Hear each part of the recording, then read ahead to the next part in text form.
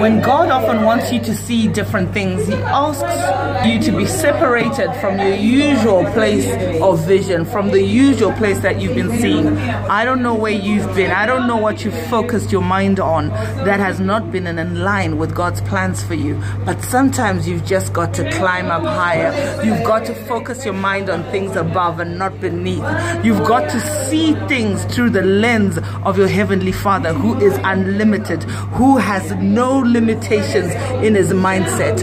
When Abraham separated himself from Lot, the Lord asked him to have a look, and as far as his eye could see, he would be given that land.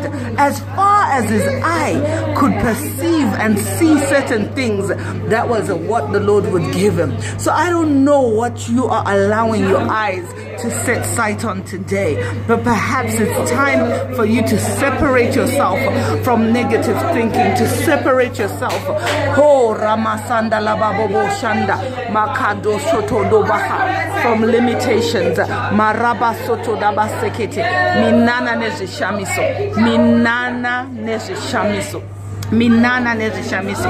God is able to do exceedingly abundantly above all that you can ask, think, or imagine, according to a power that is working in you, the power of the Holy Ghost. He is able to make that dream come true. He is able to bring you, ha ha ha, lo ba ba ba ba, into a better place. Maga zodododoshka. So come up higher, come up higher.